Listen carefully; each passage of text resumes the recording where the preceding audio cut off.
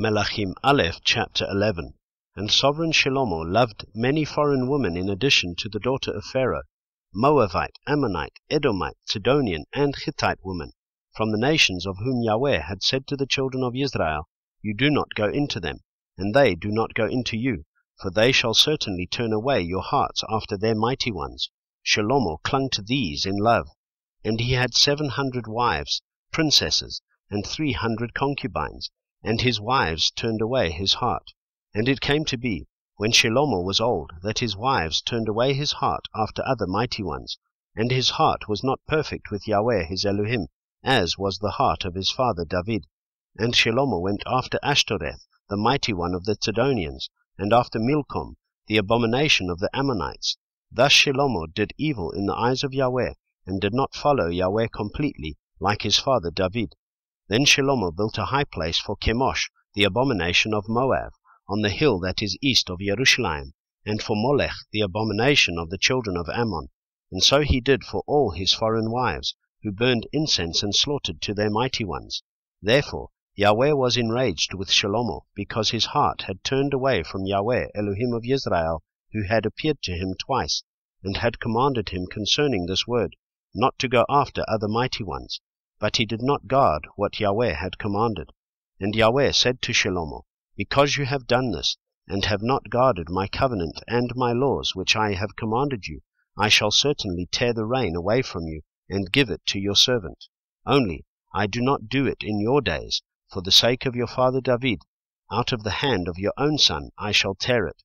Only I shall not tear away all the reign, but give one tribe to your son for the sake of my servant David and for the sake of Jerusalem which I have chosen.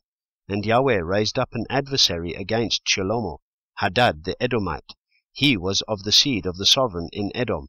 And it came to be, when David was in Edom, and Joab the commander of the army had gone up to bury the slain, after he had struck every male in Edom, Joab returned there with all Israel for six new moons, until every male in Edom was cut off. Then Hadad fled to go to Mitzrayim, he and certain Edomites of his father's servants with him, while Hadad was still a little child. And they arose from Midian and came to Paran, and took men with them from Paran and came to Mitzrayim, to Pharaoh sovereign of Mitzrayim, who gave him a house and ordered food for him and gave him land. And Hadad found much favor in the eyes of Pharaoh, so that he gave him as wife the sister of his own wife, the sister of sovereigness Tachpenes, and the sister of Tachpenes bore him Genuvath his son, whom Tachpenes weaned in Pharaoh's house. And Genuvath was in the house of Pharaoh among the sons of Pharaoh. And Hadad heard in Mitzrayim that David slept with his fathers, and that Joab the commander of the army was dead. And Hadad said to Pharaoh, Let me go to my land. And Pharaoh said to him, But what have you lacked with me, that you are now seeking to go to your own land? And he answered, No, but please let me go. And Elohim raised up another adversary against him, Rezon son of Eliada, who had fled from his master Hadadezer sovereign of Tzova, and gathered men to him and became commander over a raiding band, when David killed those of Tzova. And they went to Damasek and dwelt there and reigned in Damasek. And he was an adversary of Israel all the days of Shlomo, besides the trouble that Hadad caused.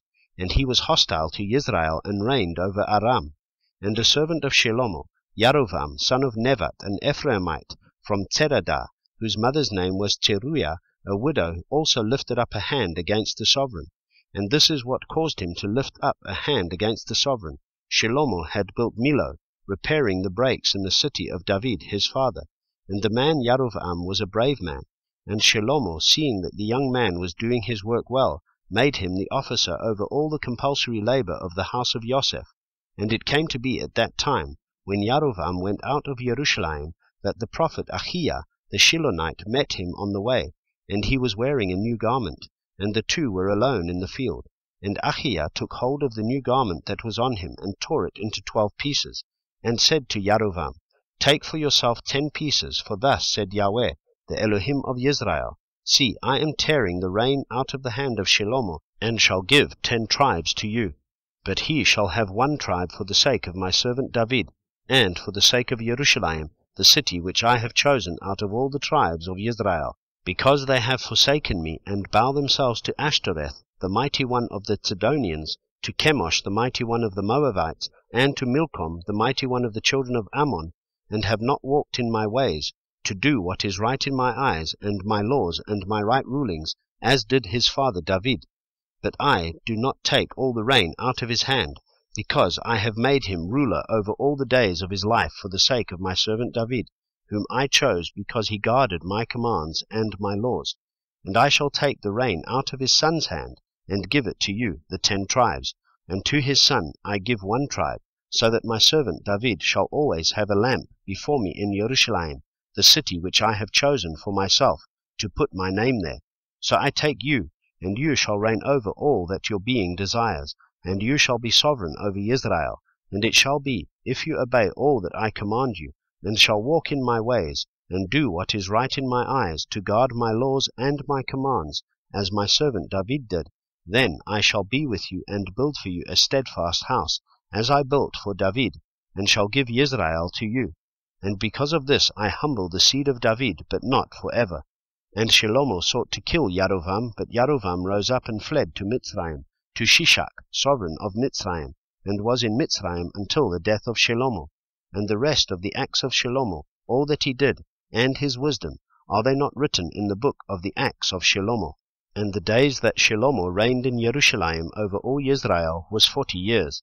So Shlomo slept with his fathers, and was buried in the city of David his father, and Rehavam his son reigned in his place.